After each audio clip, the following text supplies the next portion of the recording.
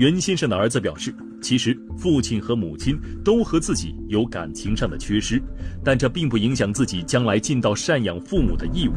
只要父母过得好，房子写在谁的名下，做子女的都没有意见。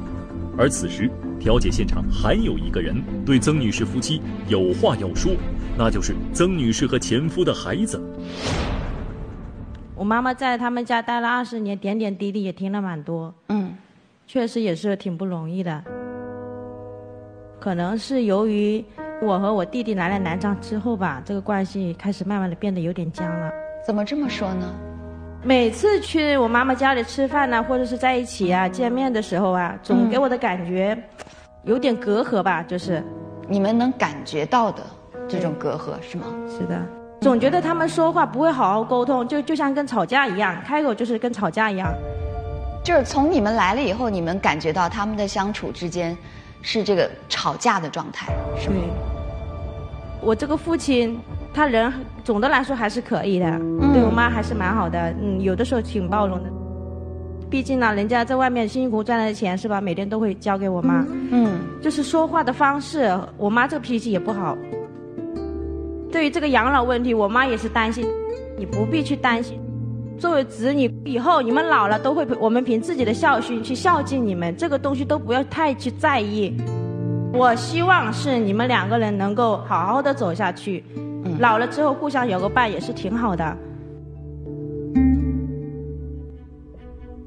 曾女士的女儿同样表达了希望曾女士夫妻能够和好的愿望，并且也愿意给父母尽孝。那么，儿女的表态能够给曾女士足够的安全感吗？观察员的发言又能否让夫妻俩冰释前嫌呢？兰芳，我觉得你的妻子真不容易。一个女人再婚，二十年的付出，为这个家她是呕心沥血。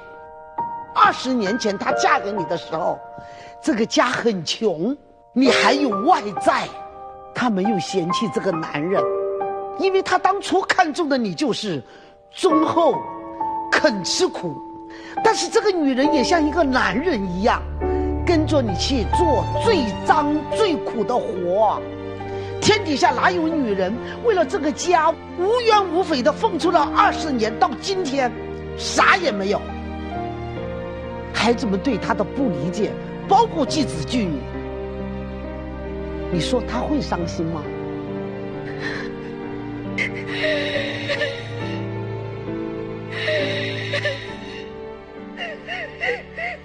这个倔强的女人，终于在这个现场，她哭了。她说了那么多，她没有眼泪。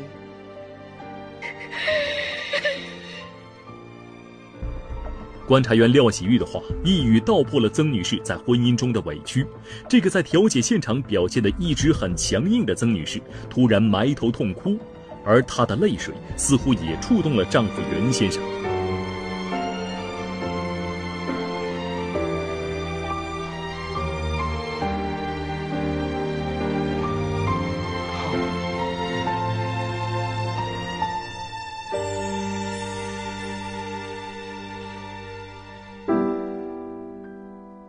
当然，这个妻子确确实实有点犟脾气，我觉得这个脾气是逼出来的。人呐，就怕被冤枉。你说一个人被冤枉，那他还有好脾气吗？所以他会暴跳如雷，所以他会去跟你争辩。